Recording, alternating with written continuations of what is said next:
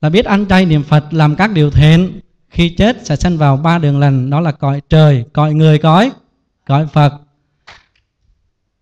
Vâng thì ngay bây giờ để thay đổi không khí chân tâm con có thể hát tặng toàn thể quý Phật tử bài hát niềm an vui được không? Nam mô A Di Đà Phật kính bạch thầy dạ được. vâng bây giờ con hát ừ, thật lớn và phổ tay và quý Phật tử cũng à, ai thuộc thì chúng ta cùng hát và phổ tay theo chú chân tâm cho hay nghe.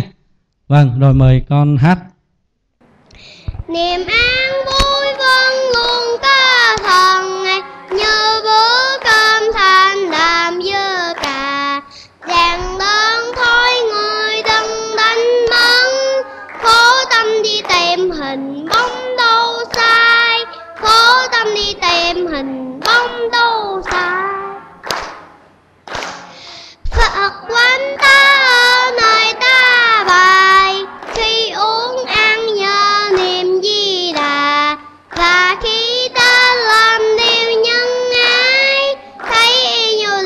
Phật đến trong tay, Thấy như là Phật đến trong tay.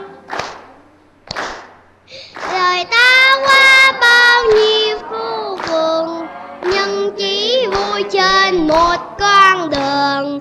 Đường thánh cao dạt do mưa pháp, Sống cho muôn loài ngập nắng yêu thương. Sống cho muôn loài ngập